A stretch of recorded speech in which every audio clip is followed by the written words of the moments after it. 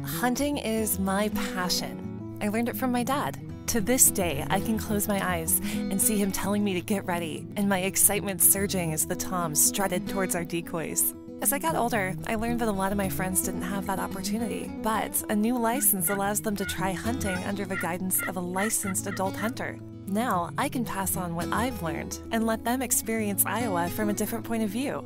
This year, share the secret of Iowa's wild side. Take a friend hunting.